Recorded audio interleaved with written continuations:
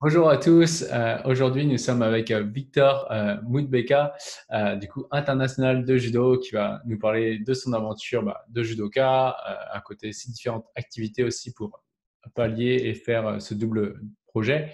Et, et voilà, ce qu'il a vécu également à travers l'académie, l'importance du judo, de la préparation mentale dans les compétitions? Salut Victor. Salut. Salut Victor, est-ce que tu veux te présenter en, quelques mots? Bien sûr.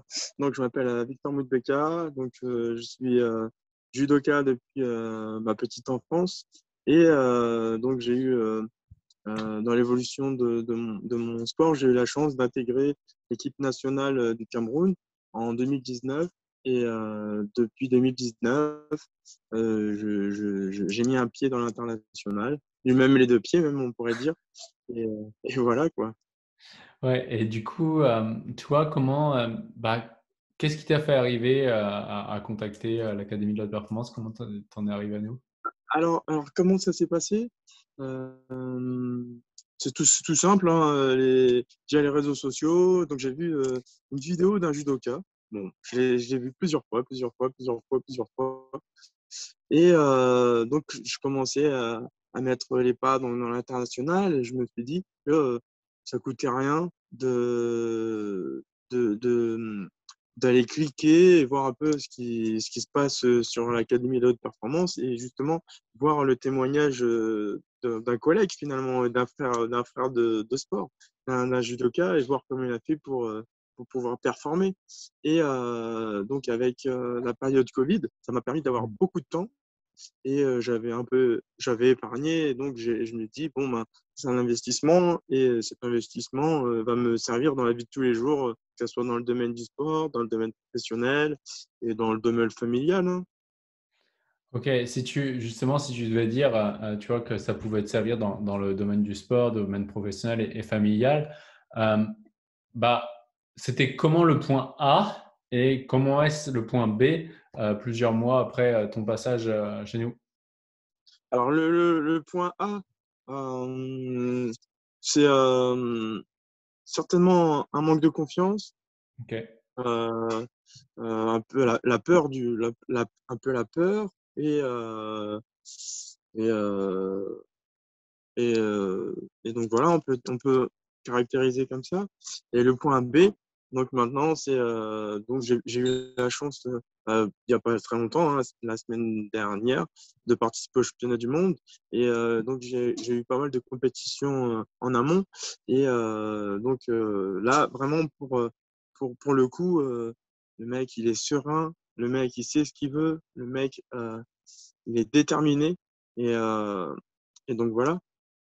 Ok, c'est-à-dire qu'aujourd'hui, là, en, compétition, euh, enfin, déjà, toi, tu fais quel gabarit? Parce qu'on peut se dire, mais attends, un gars comme toi, il a, il a pas, euh, tu vois, il a, il a pas peur, c'est pas possible, il peut pas manquer de confiance, tu vois. Du coup, c'est quel gabarit?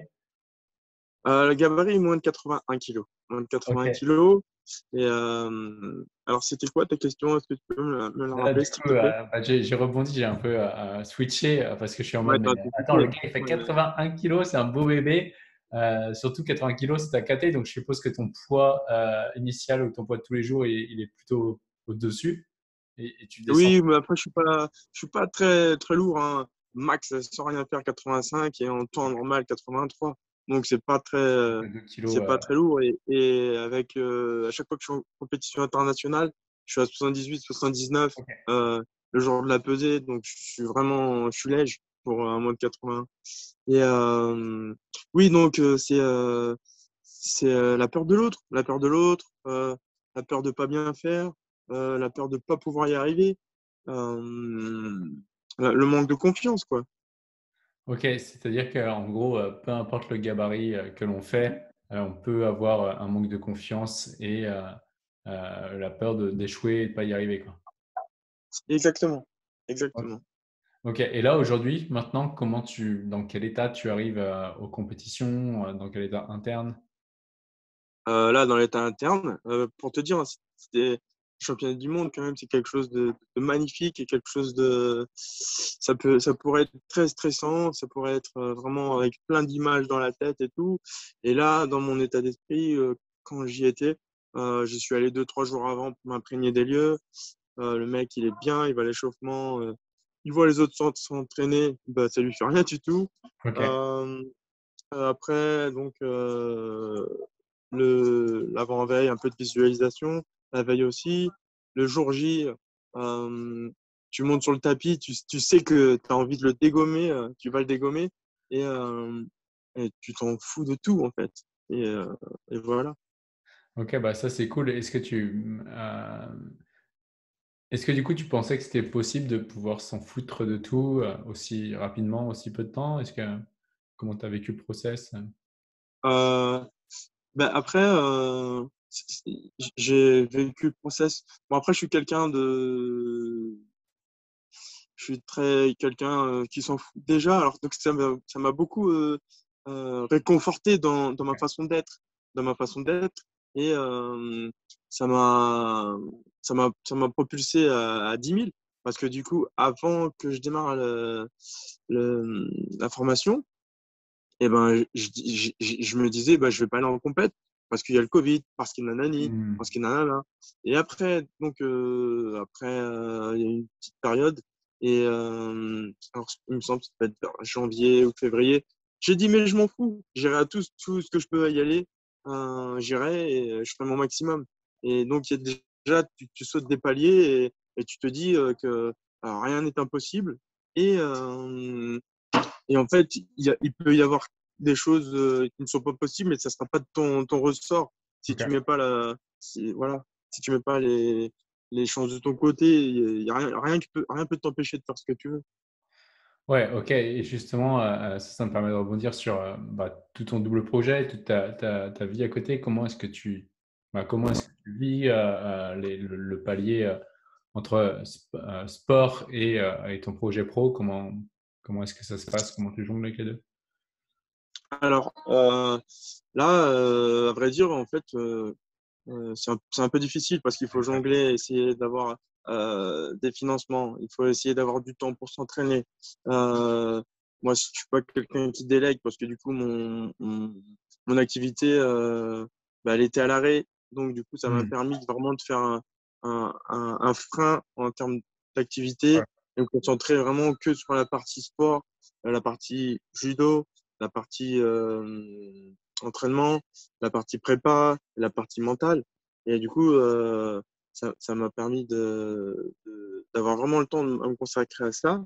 Mais euh, en temps normal, euh, c'est vrai que c'est difficile de pallier euh, aux deux et faire le faire l'un et l'autre. Après, après c'est jouable, mais il faut s'organiser quoi. Il faut vraiment s'organiser. Ouais, faut s'organiser comme tout. Et toi, aujourd'hui, qu'est-ce qui, euh, qu'est-ce qui te fait euh, vibrer euh, en judo, en compétition? Qu'est-ce que t'aimes quand tu es en compète? Mais même pas, on va même pas parler de la compète. Ce qui me fait, ce qui me fait vibrer, c'est le fait de monter sur un tapis, pouvoir voir que je- mon corps est encore là. Il, me permet de faire des choses que, que je ne me sentirais pas capable, euh, de pouvoir euh, respirer judo, sentir judo, faire tomber, euh, faire tomber. On n'avait pas beaucoup de partenaires hein, ces derniers temps, mais faire tomber mon partenaire, euh, qui me fasse tomber, qu'on bastonne. Voilà. Après. tu m'as tu m'as posé la question en termes de compétition, c'est ça? Ouais, qu'est-ce qui te fait vibrer en compétition? Ben, ce qui me fait vibrer en compétition, c'est euh, c- cette dernière compétition, c'est de euh, pouvoir euh, monter sur le tapis déjà, et parce que c'était difficile de voyager, hein.